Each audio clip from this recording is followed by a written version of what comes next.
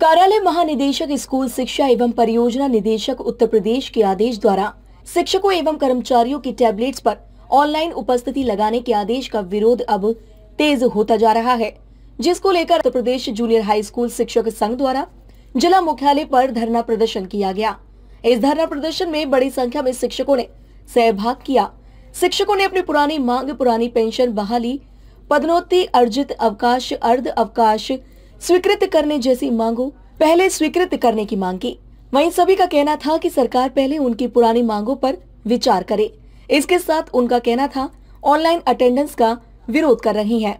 आज हमारे यहाँ आए हैं, शिक्षकों की ऑनलाइन अटेंडेंस समेत 25-30 मांगे हैं, जो सरकार ने हमें जायज़ और नाजायज़ मांगों को अनुचित तरीके से हमें दबाया जा रहा है। उसके खिलाफ हम माननीय जिलाधिकारी जी को ज्ञापन देने आए हैं मुख्यमंत्री के लिए।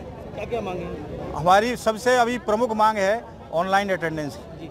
ऑनलाइन अटेंडेंस करा के हमें शिक्षक समाज को नाकारा घोषित किया जा रहा है। वो हम कतई देने को तैयार नहीं देखिए आज हम यहाँ पर जो है माननीय मुख्यमंत्री के नाम जो है ये ज्ञापन देने के लिए माननीय जिलाधिकारी महोदय के माध्यम से कलेक्ट्रेट में एकत्रित हुए हैं। और अ, हम सभी लोगों की जो मांग है शिक्षकों की वो ये है कि कहीं ना कहीं जो व्यवहारिक समस्याओं को अध्ययन किए बिना जिस प्रकार से जो डिजिटल अटेंडेंस जो है, ऑनलाइन अटेंडेंस की व्यवस्था लागू की जा रही है तो उसके विरोध में हम यहाँ पर हैं कि पहले हम लोगों की जो व्यवहारिक समस्याएँ हैं, उन पर विचार करके उनका हल जो है वो निकाला जाए। वो सभी मांगे जो हैं, वो ज्ञापन के माध्यम से हम यहाँ पर जो माननीय जिलाधिकारी महोदय के माध्यम से मुख्यमंत्री जी को प्रेषित करेंगे। डीजी महाराजा न्यूज़ के लिए मोहम्मद साजिद की रिपोर्ट।